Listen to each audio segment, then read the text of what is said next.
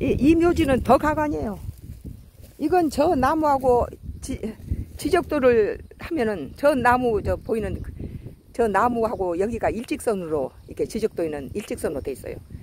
그런데 내가 10년 전에 기촌했을 때 이 땅이 일직선이었는데 계속 이 묘지 주인이 와서 어, 외지에서 온 사람이니까 약간 막 함부로 알고 막 이게 땅을 파, 파들어와서 이게 둥글게 파들어왔어요.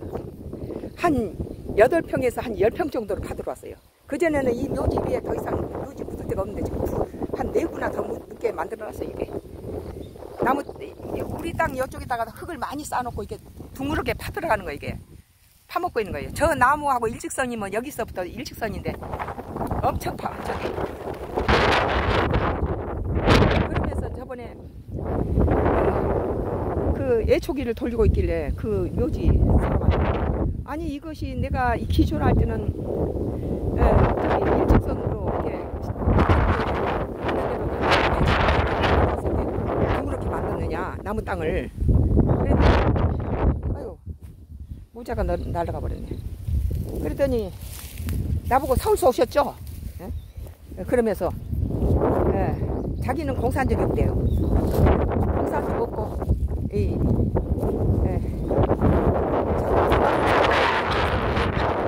이렇게 이렇게 파서 이렇게 그 전에는 이 묘지가 딱저 묘지가 끝났는데 여기다가 지금 한 네 개 더 더 묘지를 만들 수 있게 해놨어요 지금. 그러니 그러면서 나보고 어, 어, 측량하라고 하는 거예요. 그러면 이 우리 땅들이 굉장히 넓은 땅이 있잖아요.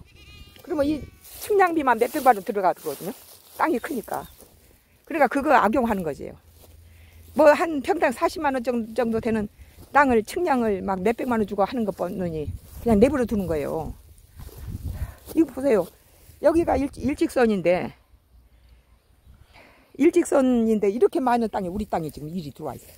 이 묘지하고 여기가 어, 여기가 이 정도가 예, 이 자기 땅이에요. 그런데 지금 우리 땅이 이만큼 들어왔어요.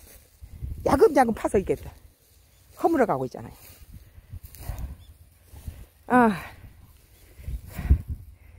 아, 아, 이렇게 둥, 아무래도 그, 뭐, 그런 거, 뭐, 저기, 이- 이게 지금 일자선으로 된 거, 우리 동그랗게 파서 이렇게 둥글게 뭐 원을 해서 땅이 한 8평에서 10평 정도가 우리 땅이 지금 뺏겼어, 이게. 아, 이렇게 해가지고 하늘이 안 무서운지, 아, 무섭지 않은지, 어, 나보고 서울서 오셨냐고 그러더라고요. 아, 그래서 내가 어려서 안도에서 이 국민학교도 다녔다. 잠깐이지만. 나도 안도 사람이다. 식으로 이제 말을 했는데. 우, 우리는 여기서는 서울 사람을 통해. 아, 아이고. 아, 참.